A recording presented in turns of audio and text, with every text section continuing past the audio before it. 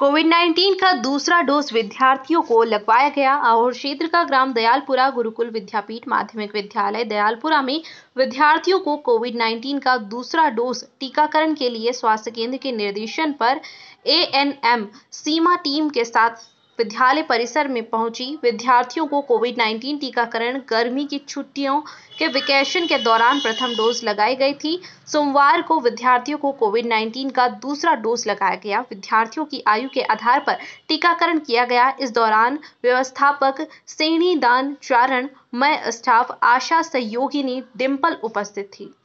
आहोर से ललित जैन की रिपोर्ट। आज दिनांक एक आठ दो हज़ार बाईस को अपने विद्यालय गुरुकुल विद्यापीठ में कोविड का टीकाकरण किया गया। बच्चों की द्वितीय डोज लगाया गया। है पहले भी मैडम के साथ से अपने गर्मियों की छुट्टियों में एक डोज लग चुका था तो अभी ये दूसरा डोज लगा है। तो राजस्थान गवर्नमेंट की जो कैंप चलते हैं हमारे विद्यालय में कैंप का आयोजन करवाया गया और बच्चों को टीकाकरण करवाया गया। कोविड एक बहुत बड़ी महामारी है। इससे बचने के लिए टीकाकरण करवाना ज़रूरी है। बच्चों को टीके लगवाएँ और कोविड से बचाएँ।